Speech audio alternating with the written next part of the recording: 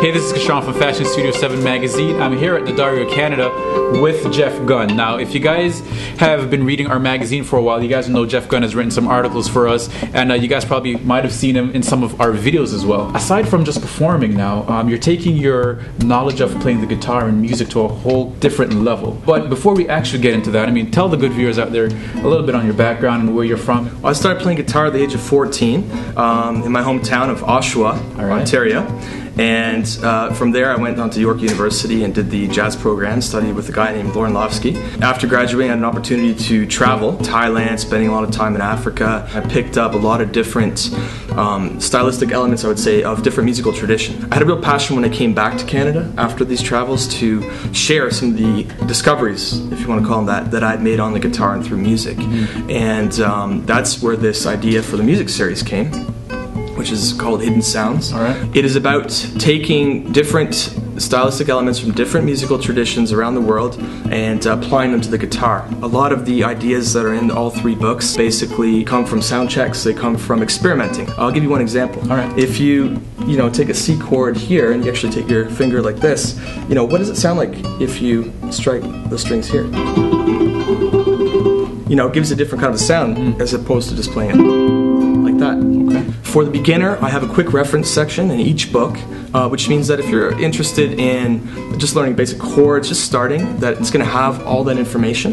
Um, it's also for the veteran, a person who's played for 30 years. You've actually worked with some incredible individuals, and you're a PhD candidate as well. Yes. Yeah, which is pretty amazing. Let's first start talking about um, some of the individuals that you've um, worked with. Uh, at the moment, I'm very fortunate to play with a guy named Emmanuel Jal, who's author of the bestseller uh, War Child, and also if you've seen the movie Blood Diamond, mm-hmm. uh, he's on that soundtrack as well. We even shared the stage at a jam session with Serena Ryder and uh, Shad K, which is pretty right. cool. Kate Todd as well too, who's a local actress on the show Life with Derek. Besides that, I write for various magazines, yeah. Canadian musician, uh, music, etc. I had a guitar tips column for a number of years with them. In Thailand, the Guitar Mag, writing for Fashion Studio 7, you guys are great.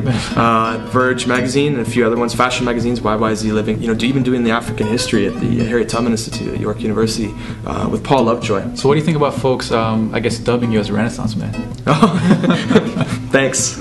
I'll take it. I like being in a lot of different fields. You guys, make sure you guys check out uh, Jeff Gunn's website, Jeff G U N N uh, dot ca. Today we're at D'Addario Canada. Very proud to be here and uh, to be endorsed by them, as well as Godin Guitars and uh, Levy's guitar straps. And uh, you get a chance to check out the D'Addario 110s. They're really good. All right. So once again, this is Kashawn and Jeff Gunn for Fashion Studio 7 Magazine. Catch you guys in the next event. Let's take it out. All right, man.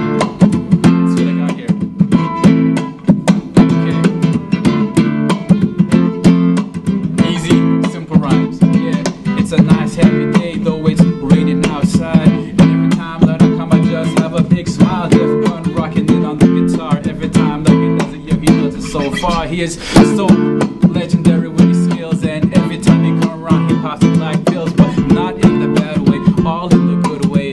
Yo, we're about to shoot it a mile away. I don't know.